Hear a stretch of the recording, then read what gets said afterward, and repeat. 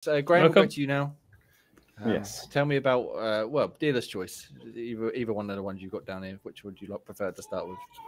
Um, I'll start with um, SteamWorld Dig one and two, just because they're easier and quick to go through. It was just uh, I saw them sneaking into Game Pass, and I thought eh, I'll give the first one a shot and see what it's kind of like. I was like, oh okay, it's kind of like you dig in, you have to go back, sell the treasure, go back, get upgrades, go back further, get a bit further each time, go back, and like, yeah, I miss those kind of games. They're a bit kind of old schoolish.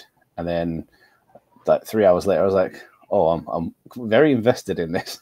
I was like, okay, I can kind of see this through. I was just sort of burning through it, mm. and then within a kind of few days, I realized I completed the first one. I was like, that was actually quite fun. I quite enjoyed that.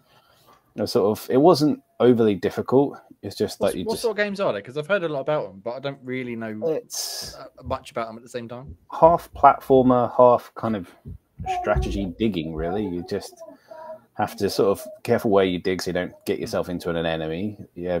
Then the sort of the combat was is slightly difficult, but it's meant to be because there's not a lot of it. It's just that you have to try and avoid the fights. You have to try and sort of land rocks on their heads or just mm. avoid them because you're not supposed to fight them until you get to a certain bit where an upgrade where you can kind of turn the tables a little bit.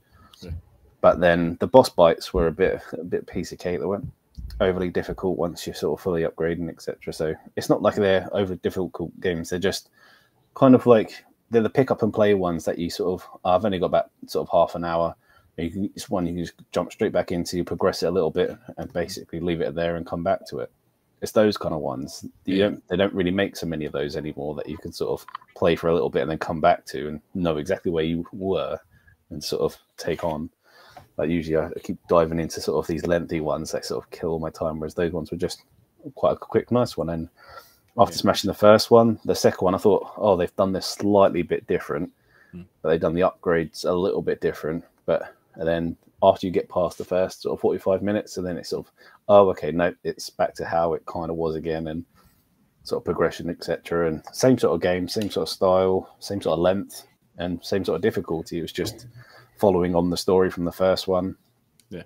And yeah, it was they're great little kind of platformer ones that yeah, old style games that are yeah, fun to pick up and play, not that difficult that you can just sort of play through, storm through.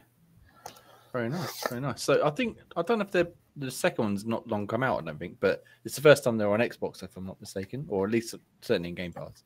That's what I heard. Always just because the fact that all them both sort of sneak into to Game Pass. Every now and then, if their one catches my eye, I was like, ah, I'll give it a taste and see what I kind of think. And it's it's not another hundred hour RPG that you.